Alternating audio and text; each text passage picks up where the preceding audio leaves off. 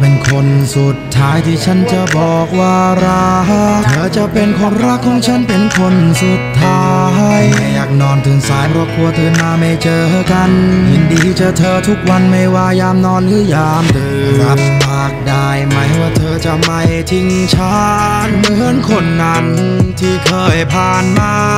ยามป่วยไข้ยามแก่ชราหวังพึ่งพากันได้ไหมาวันหนึ่งเราก็